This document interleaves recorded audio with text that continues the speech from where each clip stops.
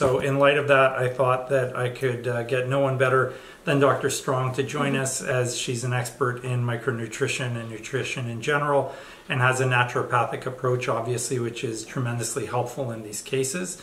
Um, she's been an amazing uh, addition to our clinic and has helped us with uh, many patients, both in terms of their nutrition, their diet, exercise regimens, and also in terms of stress relief, which is vastly important. So maybe I'll just have Jen introduce herself a little bit, if you want sure. to talk about yourself. Yeah, so hi, I'm Dr. Jennifer Strong. I've been a naturopathic doctor for 13 years now, just started here this last year, since February, and it's been pretty exciting. Um, my role here is more, um, excuse me, nutrition related. So um, with the patients here, I talk a lot about uh, diet and the importance of certain nutrients, uh, macronutrients and micronutrients. Um, and I also do acupuncture as well around uh, their treatment cycles. Awesome. So I was going to chat a little bit about the male sperm uh, initially, just in terms of what we assess and then how these nutritional factors uh, can impact things. And then talk about whether or not there is proof and is it fact or fiction that uh, the supplements work. So in general, we're looking at four elements of any semen analysis. So we want to know, number one, how many sperm are there? So we refer to that as the count and you want a minimum of about 15 million sperm per milliliter of ejaculate. Number two, we want to know how many of the sperm are moving, and that's more commonly referred to as motility. So we want to know how many of the sperm are actually swimming or moving. Number three, we want to know how fast they are moving, and that's referred to as progression. So you can have lots of sperm that are moving, but not necessarily have sperm that are moving quickly. They may be just wiggling or staying in one place, but no forward motion. That's obviously going to need a lot of assistance. And then the last element is called morphology, and that really refers to whether or not the sperm are shaped normally. So if you have abnormally shaped sperm, uh, the theory behind that is that those typically will not fertilize the egg, and therefore you need better quality sperm with less morphological abnormalities in order to do the job. So those are the main four characteristics we look at. Some of the additional factors we look at is how thick is the ejaculate, is it very viscous or non-viscous, and we also look at things like the overall volume, the pH, um, whether or not there are white blood cells indicative of, of infection. But in general, it's those main four ones I mentioned earlier. So with that in mind, what the targets of these sort of supplemental therapies are is to target what's called reactive oxygen species. So it sounds like a big mouthful, but the bottom line is that oxygen can actually be very damaging to you if it's broken up into just a single oxygen mo molecule with an extra electron. That can run around in your body causing a lot of damage things that create those molecules are things that typically will cause damage within your body or in, influence your immune system. So things like drinking, smoking, drug use, um, probably even exposures to multiple chemicals, a lot of environmental chemicals, BPAs, and so on. So when that occurs, you get damage running through your system. You are influencing the sperm significantly. These are highly sensitive tissues. They're under rapid division, and because of that, even small changes can cause quite a significant effect on the system. So along came scientists who have studied numerous different supplements, and I could sit here probably for half an hour just rhyming off all the different supplements. But the big ones are mainly vitamins like uh, A, C, D, E, uh, they've looked at things like lycopene, they've looked at uh, L-arginine, N-acetylcysteine, um, zinc is a big one, magnesium. Jen can maybe throw in some extras. I'm, I'm sure I'm missing some there. Um, yeah, most of them, CoQ10. CoQ10, yep. Selenium. Yep. There's a bunch. Yep. Mm -hmm. So all of these can influence things by reducing those reactive oxygen species. And the theory was if you can reduce the reactive oxygen species, can you actually improve the sperm performance?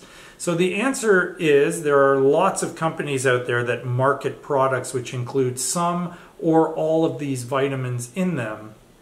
And because they have these vitamins in them, the theory is they work.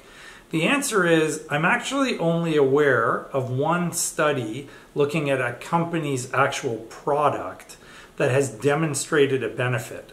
And that's uh, an Austrian company that actually produces a sperm supplement that was checked by Health Canada and verified to actually improve sperm parameters. Having said that, there are numerous studies that have looked at either combinations of vitamins or individual supplements or vitamins or adjunct therapies and they have definitely demonstrated significant benefits. Anything from all of those vitamins we mentioned, the supplements we mentioned, they've got proof for things like DHA, which are the omega 3 fatty acids. Zinc is a big one, CoQ10 is a big one for men as well. So we know that these vitamins individually have a benefit, and so we expect that when they're pooled together with other supplements, there certainly wouldn't be anything detrimental. It should be beneficial. So yes, some of these supplements can be expensive, there's no question, but the truth is that they definitely look like they are beneficial and they can provide some assistance to men who are struggling because the sperm performance is suboptimal. We definitely want to recommend, and this is critical, that if you are going to use these supplements, make sure 100% that you are not continuing anything that would be detrimental to your overall health or increasing those reactive oxygen species. So I always liken continuation of smoking or drinking or drug use and taking these vitamins to having a hole in the bottom of a styrofoam cup and trying to fill it. It's basically running out as fast as you can pour it in. That is completely pointless. We have a lot of guys that want to get their sperm to improve, but aren't necessarily completely committed to the process or have difficulty quitting some of their habits. And in those circumstances, you're probably wasting a lot of money on those products because you will not be able to undo the damage caused by the, the um, actions you're taking with just taking vitamins. And, and again, Jen might want to jump in there and say something.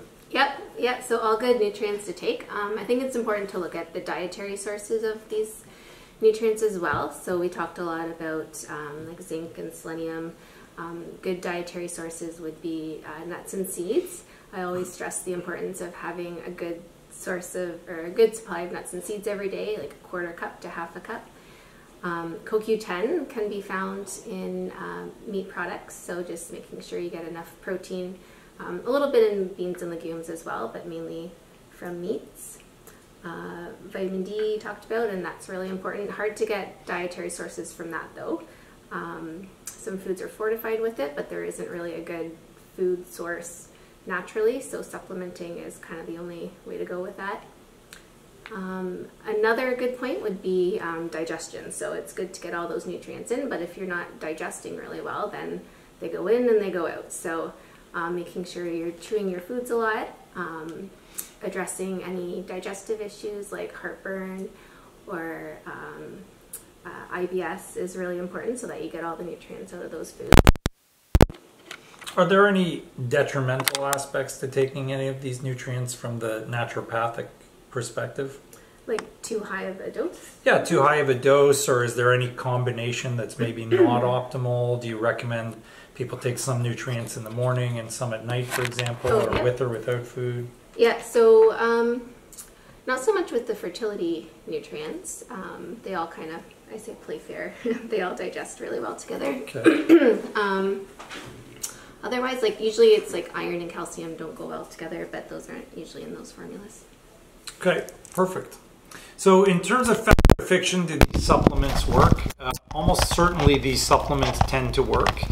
But it is really important that you are um, living a healthy life to begin with.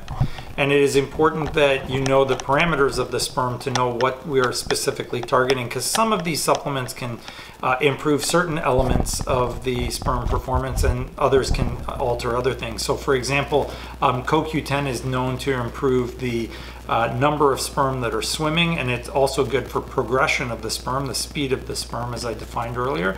But it's not necessarily going to make you make more sperm. So it is it is really critical to make sure you know what you're trying to target, and then make sure you adhere to those important lifestyle habits and dietary habits to ensure that you are doing all of the appropriate things that you can do to improve your overall health, and then usually sperm performance will improve with it. Um, do I think you need to spend a ton of money on these products? I don't. So at least in Canada, we are um, very blessed to have a great Canadian company called YAD. It's Y A D. Um, no, I don't own any stock or get anything from them. um, as a total uh, disclosure statement. But uh, they're based in Quebec. They make very good products, and it's typically much uh, less expensive than some of the others. The Australian, or sorry, Austrian company I mentioned earlier, uh, their product is called Profertil. Uh, and so they make a really good product as well. And as I mentioned, that's got documented proof from Health Canada that it works. It's a little bit more expensive than the stuff from YAD, um, but uh, it does work very well. And so that's a, a really uh, reasonable thing to, to use. So we've got a question on Facebook which says, How much iron and calcium should a woman take for fertility and pregnancy? And I will happily defer to the illustrious Dr. Strong. Okay, so um, daily sources of iron should include 27 milligrams. Most um, prenatal vitamins have exactly that amount. Um, so that's like the standard amount that's recommended. Some women need more um, if, if, their periods were heavy or their levels were low to begin with. Iron deficiency is quite common, so just knowing uh, what your levels are ahead of time is good. Um, and then calcium, don't know the exact number. Um, so we usually recommend about a thousand. Okay. Yeah. There you go. Yeah. And we use the same number for iron as long as it's an absorbable iron where you're actually going to get, uh, we typically would say 30 milligrams of elemental iron with good absorption of that iron. Um, a lot of iron products do not absorb easily, and certainly many of them have a lot of uh, gastrointestinal side effects. Um, so a lot of companies have moved towards what's called glycosylation of their iron, and so they'll add little bindings of sugar types onto the iron, which can actually significantly improve the uh, ability to tolerate the iron and absorb the iron. I don't know if the ones um, is there a particular brand or anything you recommend? Yeah, so I like the NFH brand. It's similar. NFH, I think we did like okay. a comparable with the yep. ad and the NFH, and um, those that, they're both really good. Um, the NFH one has iron bisglycinate form, so okay. it's a well absorbed form of iron. Um, some of the other ones have like a glycinate form or a um, gluconate. gluconate. yeah, right. which isn't the most well absorbed. Yeah, so some of the cheaper ones for sure are things like ferrous sulfate and ferrous gluconate. Um, you do need to take a lot more of those than you would one of the glycosylated ones. So uh, there are all sorts of different brands, and, and certainly cost can be a factor in your insurance coverage as well. Um, but the bottom line is that you got to find something that works for you and that's right for you. Um, and definitely you can bounce it off of myself or Dr. Strong, and we would be happy to guide you in terms of what to take. Um, certainly for calcium, a thousand milligrams is very reasonable. And keep in mind that's in someone that's got normal kidney function and also does not have any reason to not take calcium. So, for example, if you have a history of kidney stones, you got to be careful with your calcium intake. Um, if you've got kidney failure or kidney damage, you're a, a type 1 diabetic, you've experienced some kidney uh, issues before, um, that can alter the recommendations. And so you do need to discuss these with your, your naturopath or your uh, physician to make sure that you are getting the appropriate dose for you. Everything should be individualized um, always, but in particular in infertility, it should always really be individualized. Do you have anything else to add there? Um, no, I think, I covered it. So, any questions um, we're willing to take? Fact or fiction, like I said, is these supplements do work. So, it's a fact that they are uh, beneficial. Um, it's not fiction, and they are worthy of some investment. I don't think you need to go crazy. Um, there are all sorts of things being marketed on the internet. Um, some of them are useful, some of them are not. But uh, I think that it's very reasonable to, to try some of these, and, and you will see some benefit from them. Okay, we got another question from Facebook. I'm going to lean forward to read this. I'm showing my age, folks. Um, okay, question about diet. My plan was to gain about five pounds, and per Dr. Strong, this one's for you, okay. I added lots of healthy fats into my diet. I noticed I started losing a little bit of my weight. Is it because my body is just Oh, I gotta see a little bit more here, folks. Sorry.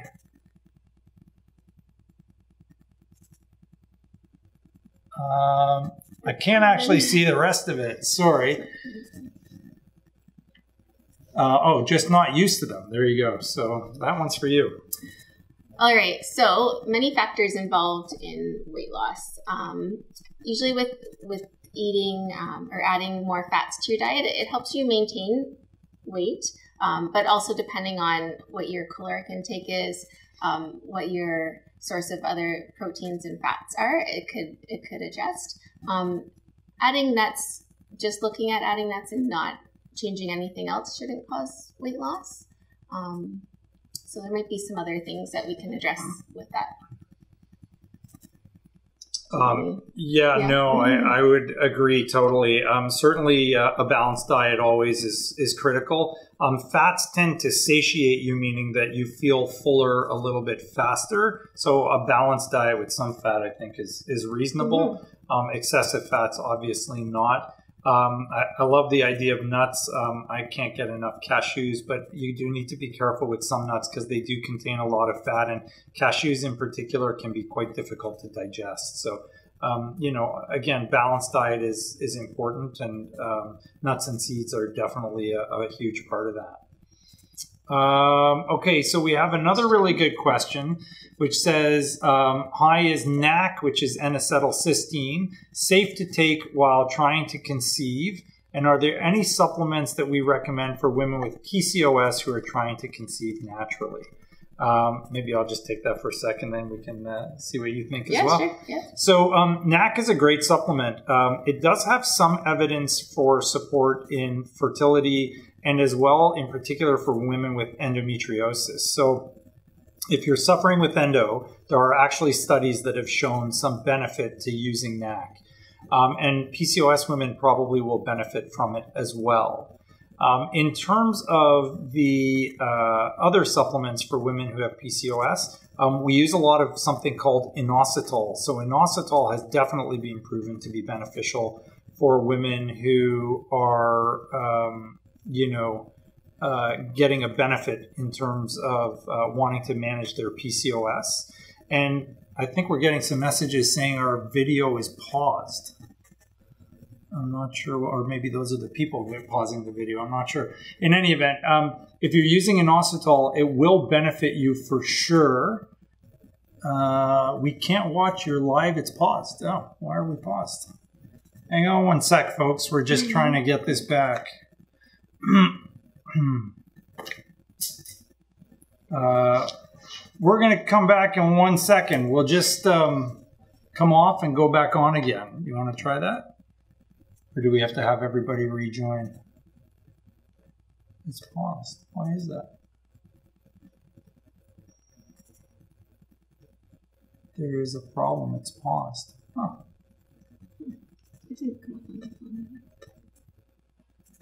Try that. Can you see us now? On uh, Instagram, folks? There is a problem. It's just, it's working for me. Yeah, um, the patient that just said it's working for me is on, uh, you guys are on Facebook. It's the Instagram people that are apparently having a problem. Can you see us on, on Instagram? Uh, let's just pause and go back. Uh, folks, uh, if anyone's watching us, oh, now it says just joined. So if you joined us on Instagram, we're just going to sign off for a minute and come right back on. Um, we'll be back in one second. Uh, hang in there. Yeah, it says we are frozen.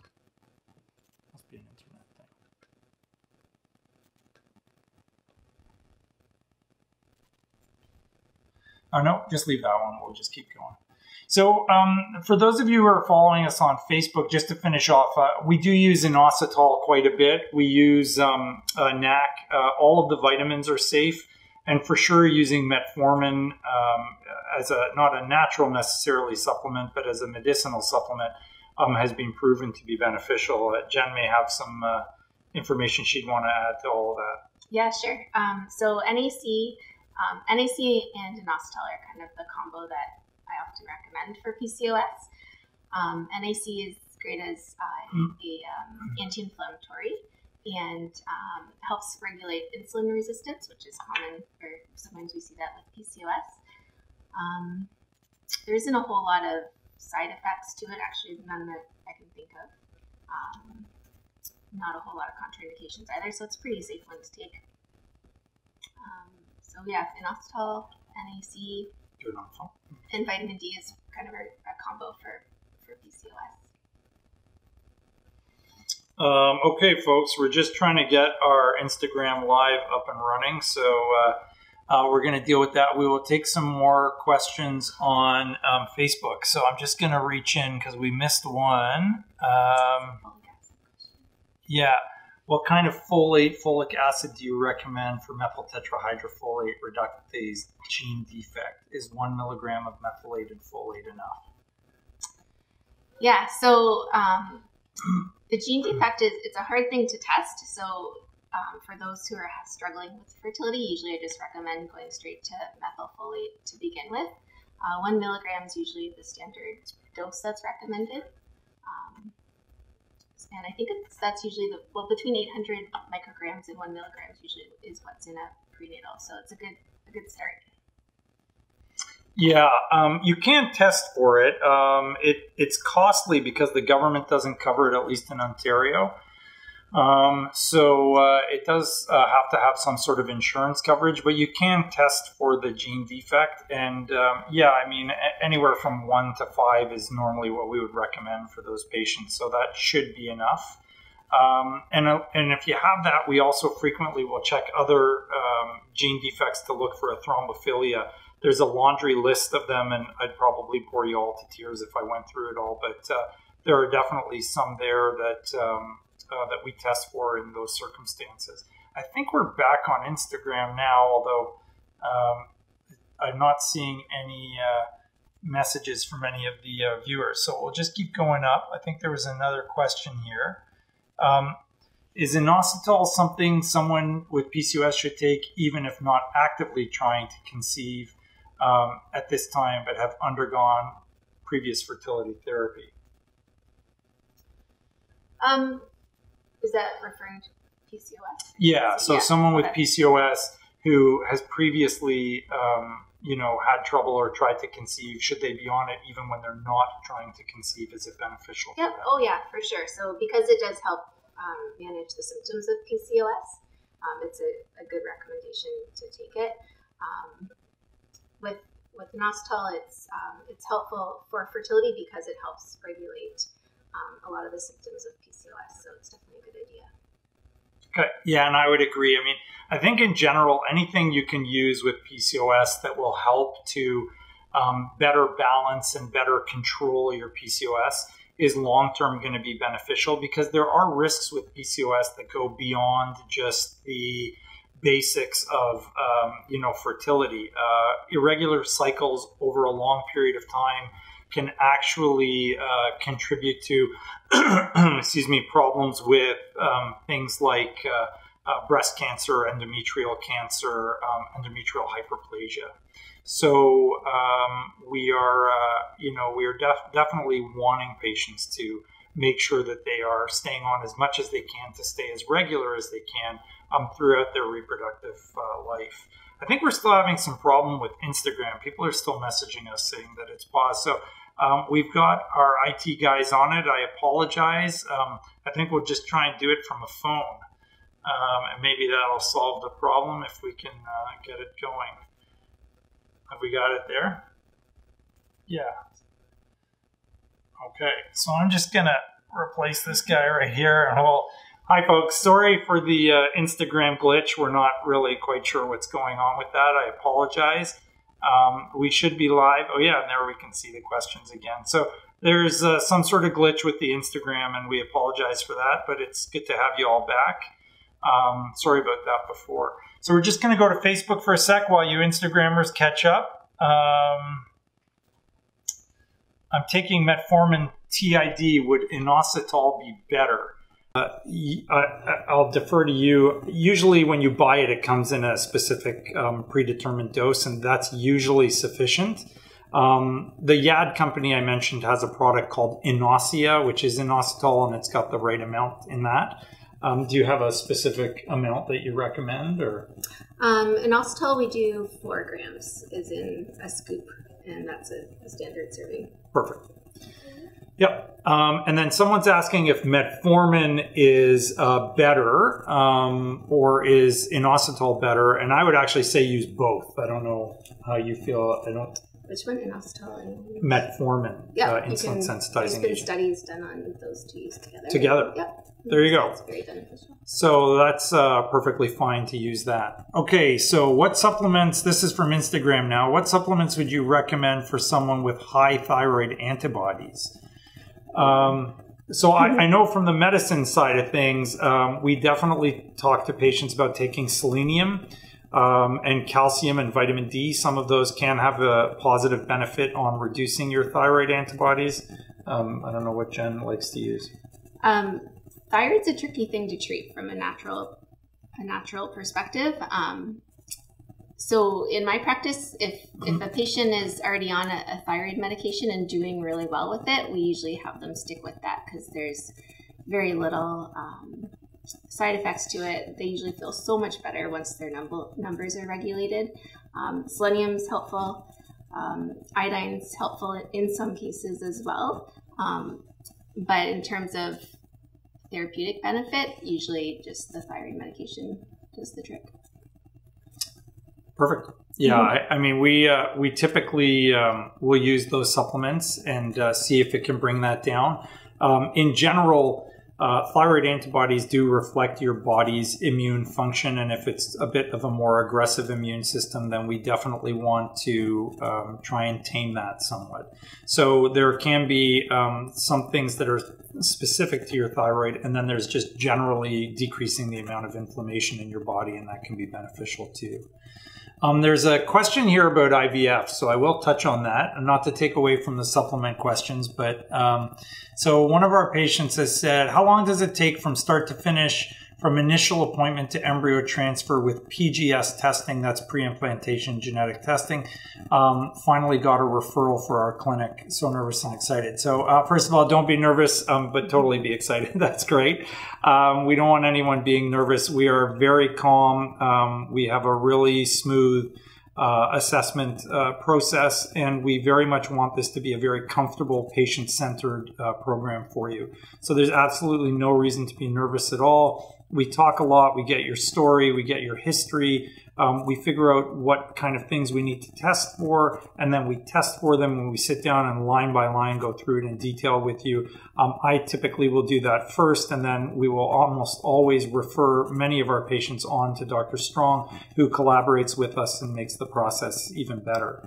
Um, as far as um, how long it takes, probably on average from your very first appointment to see us till the time where you would actually be doing IVF would be a couple of months. We never rush into things because we want to make sure that we are doing everything appropriately for you. And we definitely don't want to have a situation where we're rushing you into something and then something is missed and uh, you end up with a suboptimal response, especially when you're doing IVF. Uh, the follow up to that question is Is it covered? Is the genetic testing covered with your first round of IVF through the government? Um, the answer to that is not everybody, unfortunately, in Ontario will manage to get an IVF cycle. Um, they only have 5,000 cycles per year. Uh, all of that funding has already been allocated to various centers, and pretty much everyone has some degree of wait list. So, um, along with that, uh, the PGT testing is not covered. So, your medications are not covered, the PGT testing is not covered, and freezing of your embryos is also not covered. Everything else is covered when you have government funding, but it can take quite some time to get government funding. Um, if you want to take that question right there, um, would you have a plus size woman with unexplained infertility lose weight before trying any fertility treatments, even IUI? If so, why? And I'll scroll up a little bit here and we can Okay. take the next one. Yeah. Um, so, uh, in terms of fertility, there's a, a good um, percentage chance of getting pregnant when you're in a healthy uh, weight range. So, um, if if you're starting out overweight, uh, sometimes the chances of getting pregnant are a little bit lower, um, and sometimes the uh, the chances of continuing a pregnancy are a little bit lower too. So, if you're keen on losing weight for your own health and, and improving your health before getting pregnant to get into a good healthy weight to start with, um, I would encourage that. I think your your chances of conceiving would be higher, and you'll probably enjoy your pregnancy a lot more being at a at a good healthy weight to begin with. Um, I don't think extreme diets are a good idea. So quick, fast weight loss is usually not a good answer um, when you're trying to conceive. So just making good food choices and um, following some good dietary guidelines and supplementing to fill in the gaps is, is probably the best way to go. So um, I'll, I'll, just throw in my two cents worth. Uh, I just completed about a seven or eight page document that we will be having on our website and as a brochure very soon. Um, and Dr. Strong and I worked on part of that together. So um, this is directly uh, related to your body mass index and its impact on fertility. Um, we actually now have tried very hard to move away from discussing the impact of this directly with patients in the clinic because it's a very sensitive topic. And we know that a lot of patients struggle with their weight, not because they're doing something wrong, but this has just been a, a lifelong battle for them. And for those patients, we very much uh, respect the fact that it, it, can be a struggle and that it's a difficult, difficult one and it's an emotional one as well. Um, so we've put a lot of this into paper format and online, and it'll be available to you very, very soon. Our IT guys are on it, and I've seen the, the proof. It should be up and running very soon. Um, having said that, um, the long and the short of it is that the higher your body mass index, the lower your chances of success and the higher the complication rates, both getting pregnant, staying pregnant, and even after delivery. Um, so it can have a very significant impact on the fertility and on the pregnancy. How much? Um, if your body mass index is quite high, over 40, your chances of success are reduced by up to 80%. If you're doing something simple, for example, IUI with uh, pills, excuse me, your, your baseline chances are only about 10% to 15% to begin with. Reduce that by 80%, and now you're down to about 2 to 3%. So sometimes it's not worth doing, especially when there's costs involved um, and an emotional toll as well. And so it can be very useful to lose the weight before you start but again, everything has to be individualized. If you're 40, telling you to wait six months to a year to lose a considerable amount of weight, um, at least for me, is, is not a reasonable choice. We may have to proceed and do the best we can under the circumstances. So every case has to be taken individually, and you have to make a decision for each uh, patient one at a time. Um, okay, I've got a question that says, how do protocols change to hopefully get more mature follicles during egg retrieval while still reducing ovarian hyperstimulation syndrome? So we're going off of the, the beaten path here a bit. Um, so actually, in the last few years, there's been a lot of research about triggering patients with something called a GnRH agonist. And this is a, a specific type of hormone that we use which has drastically reduced the incidence of severe um, OHSS, ovarian hyperstimulation syndrome. You will still get some bloating in certain cases. There can be some discomfort and pain for sure, but the rate of needing hospitalization, drainage of fluid from inside your abdomen, significant pain meds, and so on has really gone down. We've also used a lot of adjunct treatments like letrozole, cetrotide, which are medications that we can um, try and incorporate right after we've done your egg retrieval, which significantly reduce uh, the incidence of, and the severity of the OHSS. And then we very strongly recommend a high protein diet with lots and lots of uh, sports drinks like Powerade and Gatorade, which can replete uh, or replenish, sorry, some of your electrolytes you lose when you end up getting a lot of uh, fluid in your belly. So all of those can really uh, impact success and and also reduce the chances. And and we've done very well. We still have some patients that do still hyperstimulate, but it's way way less than it used to be. So that's where we've taken it uh, these days. Um, I don't know if you can see that bottom question there, Jen. Um, the the organic menstrual. Uh, no, what would oh. you can? Uh, what would contribute to white blood cells showing up on a sperm test? What kind of infections? How does this affect sperm performance? You want me to take that or? Sure. so um, yeah, there can be uh, white blood cells on uh, sperm. Um, frequently, it's uh, any kind of prostatic or um, epididymal infection.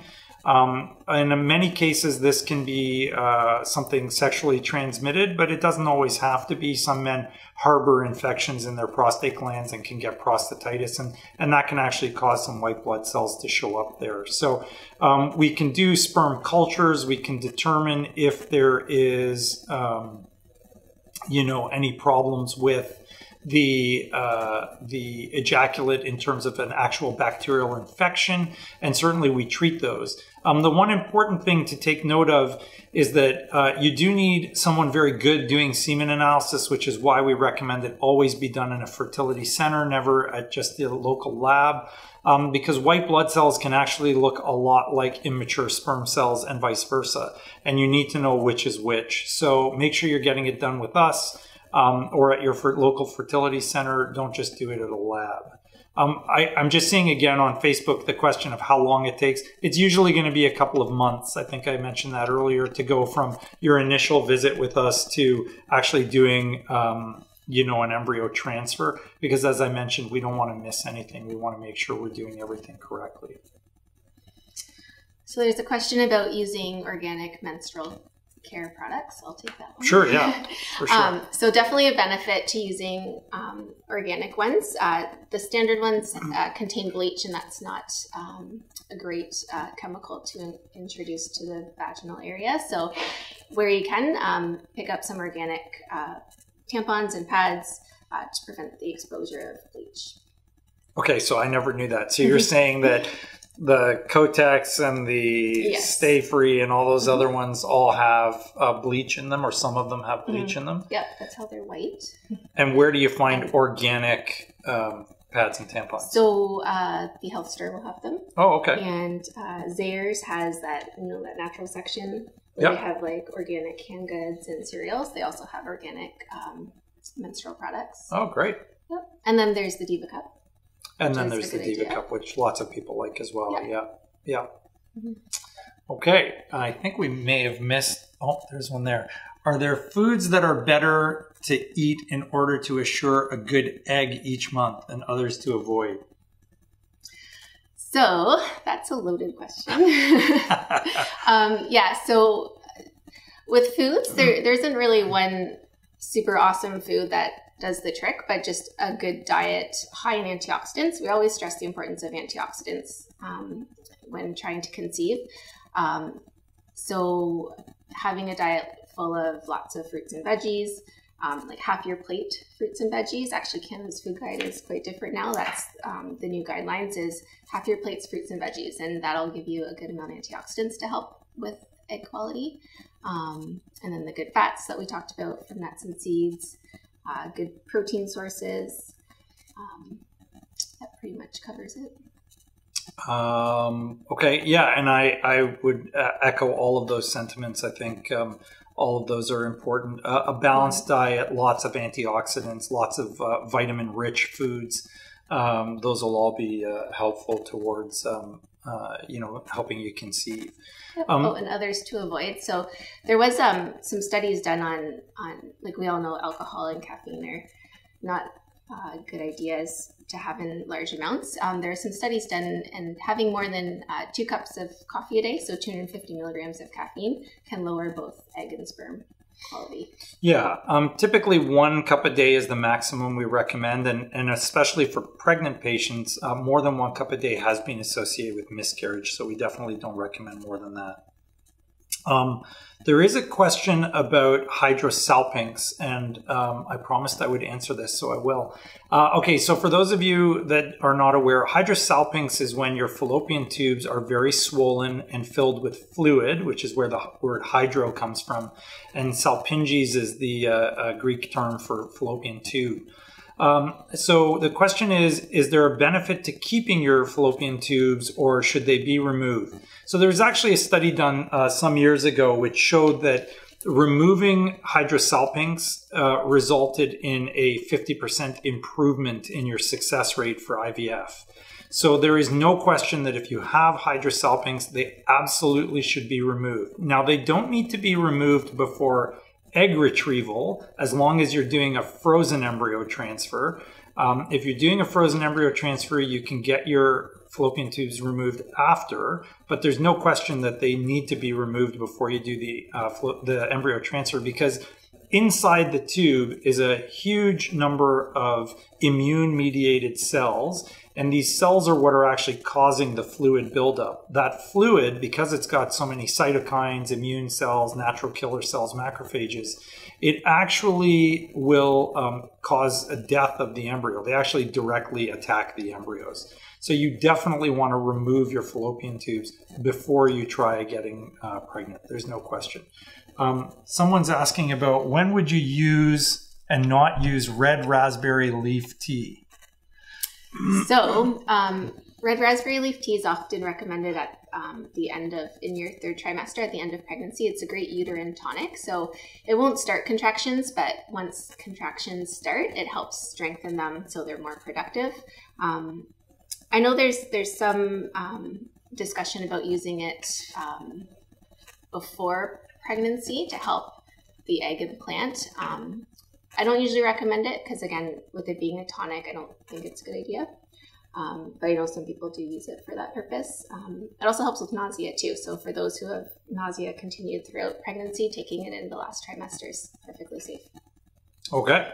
Um, yeah, I definitely wouldn't recommend taking anything that causes contractions earlier, but if it's near the end of the pregnancy, that really shouldn't be a problem um, especially if you're past sort of 36, 37 weeks. The, that, that kind of mark is probably safe for the baby.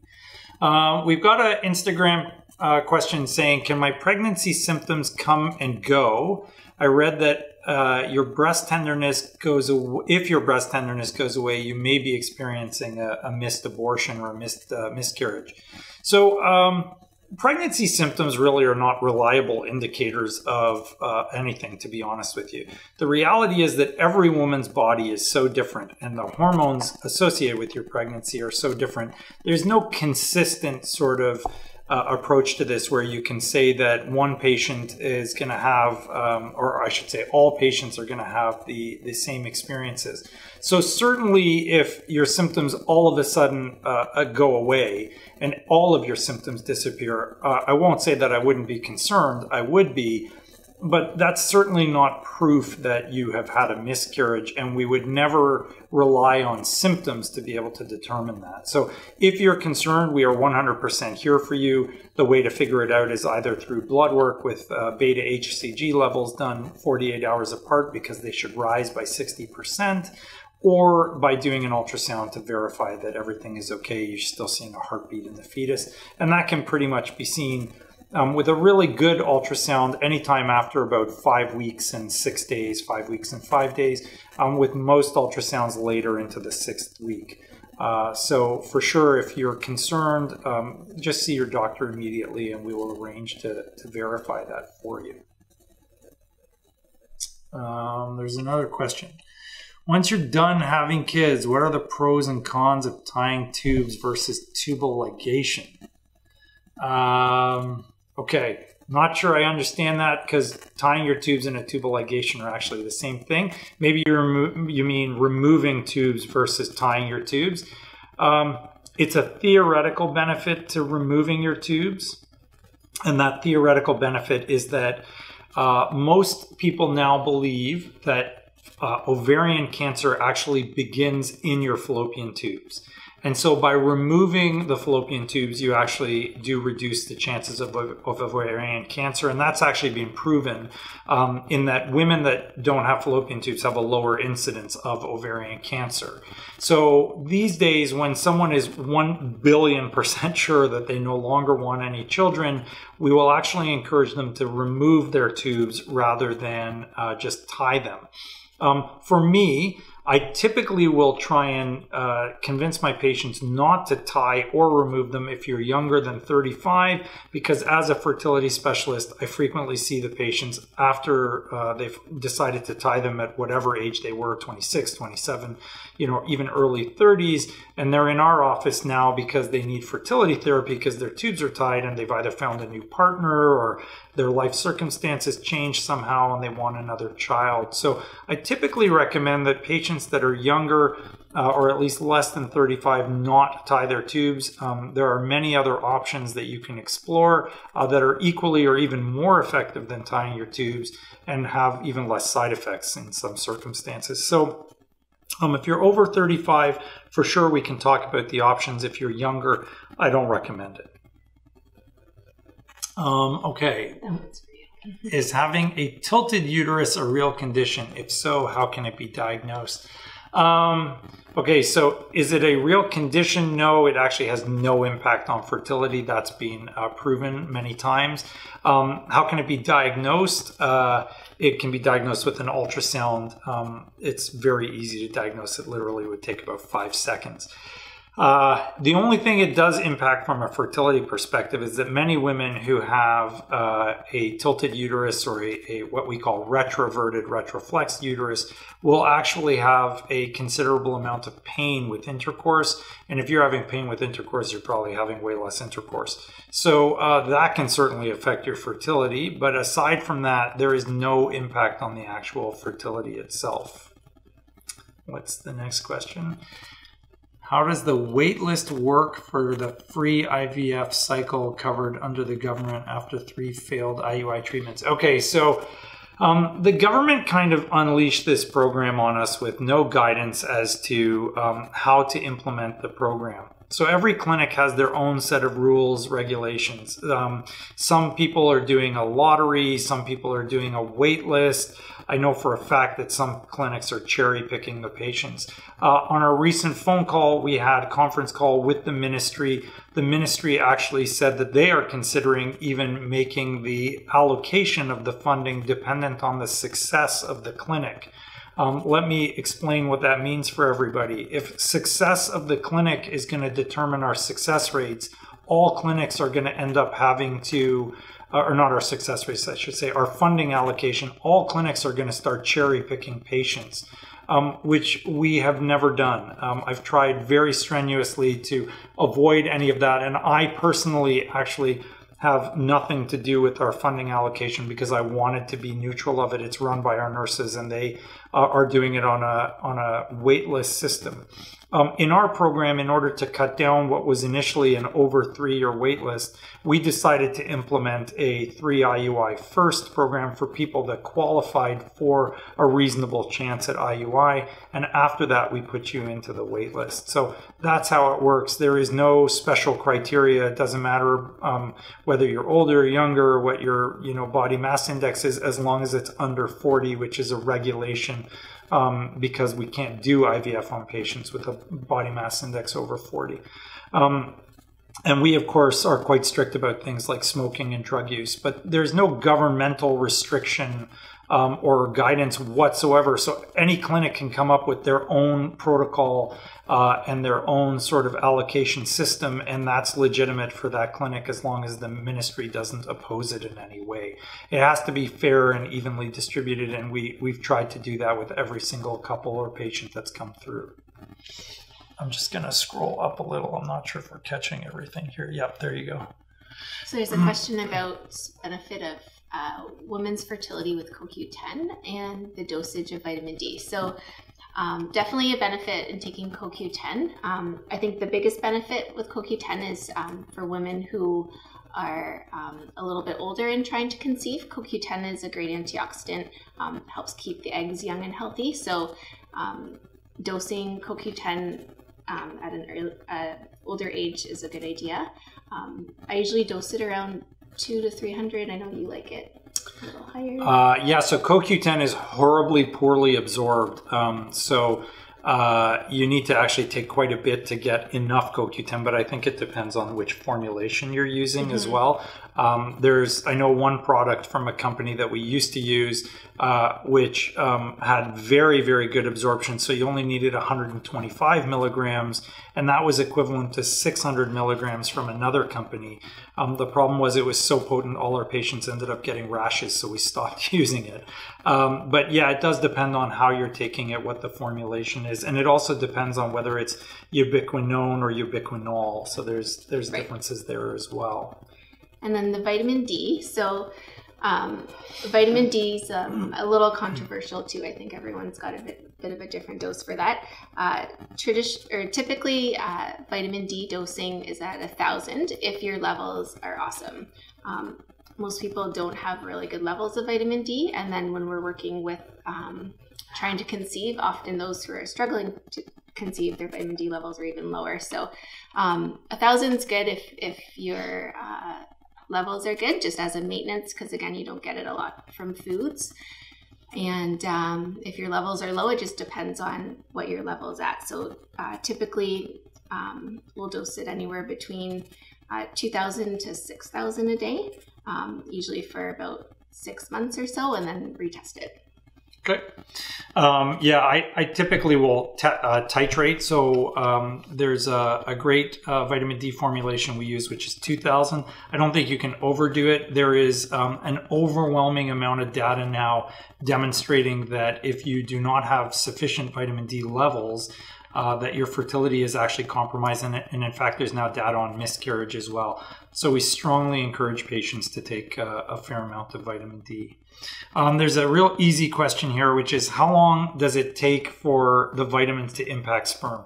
Roughly about three months. Um, so the reason for that is that uh, new sperm is produced um, uh, today, and then you'll ejaculate that sperm that you start producing today in about three months. So anything you do today, you'll see the benefit of in three months. There are some subtle exceptions to that. So, for example, motility can be improved, um, progression can be improved even in a shorter time period, but morphology, which is the shape of the sperm, that's the production of new sperm. So that requires new sperm um, to go through the whole maturation process. Same thing with the count. So you can change motility in a shorter time frame, but you can't change the number of sperm or the uh, morphology of the sperm. Um, oh, there's a good one. Okay. Also wondering how long do women uh, need to take their CoQ10, vitamin D, etc. I know CoQ10, it's quite a long time. There are studies that actually showed it takes six months to see a benefit.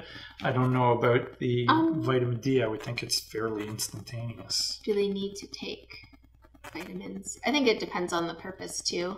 Um, like if you're taking CoQ10 to conceive and then you conceive, you don't really need it after that. Yeah. Um, and then the vitamin D, if your levels are, are low, you want to get them up. And then once they're up, then you usually like do a maintenance dose pretty much lifelong. Yeah, yeah, for sure. Absolutely. I agree with that. Um, there's a great question, and I'm going to take this because this is really fun for me. Um, it's a question about Is there a website you recommend for pelvic floor exercises or a physical therapist in the area you would recommend for endometriosis pain management? Um, so, pelvic floor exercises are not going to have an impact on um, endometriosis pain management in many patients. It may benefit some. Um, and there are some studies that have looked at this, but strictly strengthening your pelvic floor will not necessarily help with endometriosis symptoms. Um, physiotherapy in terms of massage and so on can help release some pressure points um, and sensitive points. And Dr. Strong does a fair bit of acupuncture, and I believe there is some data on that being beneficial um, but not so much for physiotherapy. I believe there is someone that started doing pelvic physiotherapy in um, the Windsor area. I, I honestly don't, uh, um, you know, have referrals there, so I, I, couldn't really tell you. But I'm sure you can find it if you look it up online. Um, how, how much do you do in terms of acupuncture and so on? Uh, for endometriosis? Yeah. Yeah, definitely beneficial for, for pain management. Um, and then there's uh, like supplements that help as well, and, right. and home treatments like uh, castor oil packs that are really helpful too. Um, I think pelvic floor physio is great for post pregnancy. Right. Right. I agree. Um, Post pregnancy, if you uh, have the chance to jump on YouTube and you type in vaginal weightlifting, you will see um, this uh, clip for a woman that looks like she's in a suit, but she's wearing shorts. And I think it's like a pomegranate that is dangling between her legs. Um, her name is Kim Anami, A N A M I.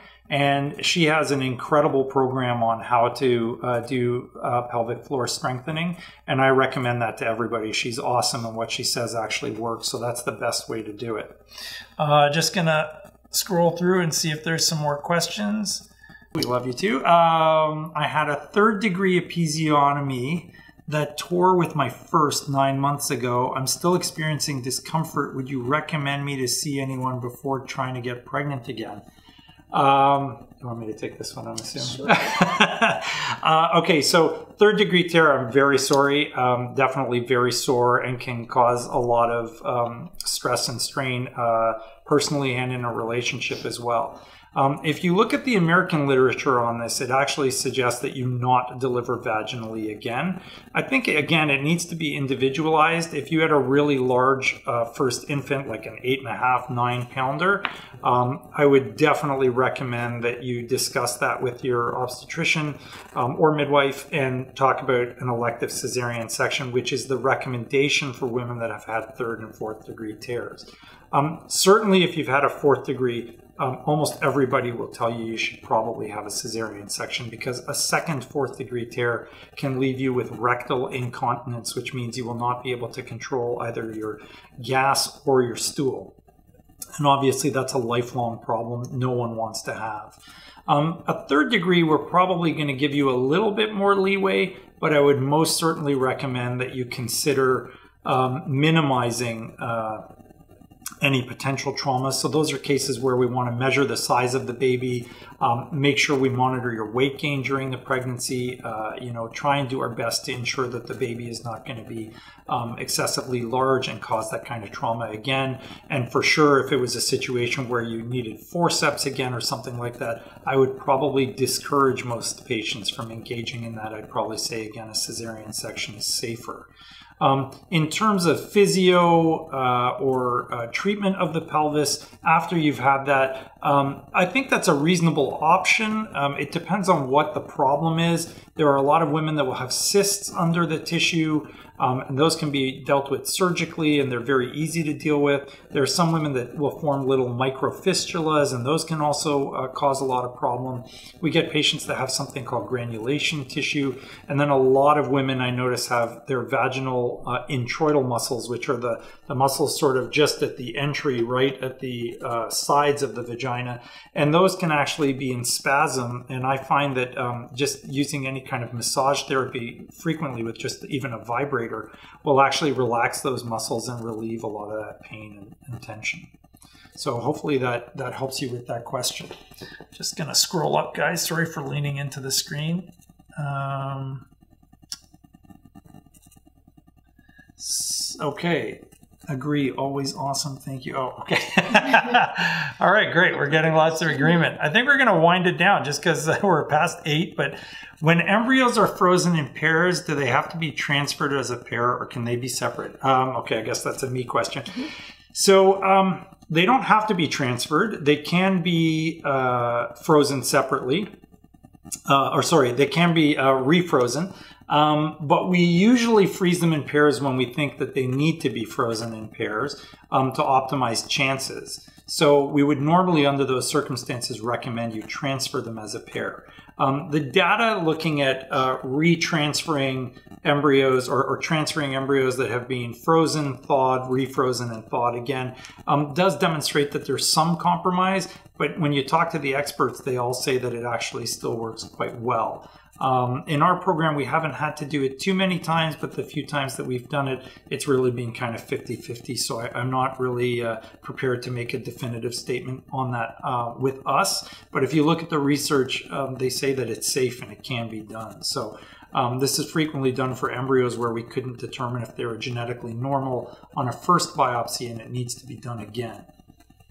Um, okay, anything else down there? I think we have hit the bottom. Um, Oh, someone just uh, joined us now. So I think we're going to wind it down. It's just past eight o'clock. Um, we uh, really, at least for me, I really want to thank everybody for joining. And I absolutely want to thank Dr. Strong for joining me. An awesome addition. We will definitely have her back. Um, we love the fact that you guys uh, watch this and uh, have joined us. Uh, again, we really want to grow this and uh, try and get it out to as many patients as possible to help everyone. So uh, share this with everyone. Definitely comment. Um, let us know what else we can do to improve this for you guys. And um, we will definitely listen to those comments. Uh, share, like uh, as much as possible. And we love the feedback. So let us know what we can do better. Uh, have a great evening, guys. We will do this again most likely next Monday. Thanks again to Tarek Ibrahim who uh, set this all up, and uh, we'll undoubtedly have a chat with Instagram and figure out why it uh, went haywire at the beginning. So sorry for that, guys. Uh, love you all. Have a great day. And Jen, uh, any any final statements? Anything you want to No, leave I everyone? think that's a wrap. awesome. That's a wrap, guys. Have a great night. Take care. Someone had just said, I'd like to see more topics on, and then I didn't see it. Did you see that? It should be there if you can watch it again. On Instagram? Like, On Facebook, I mean? uh, like yeah, on like if we go to that last second, it should.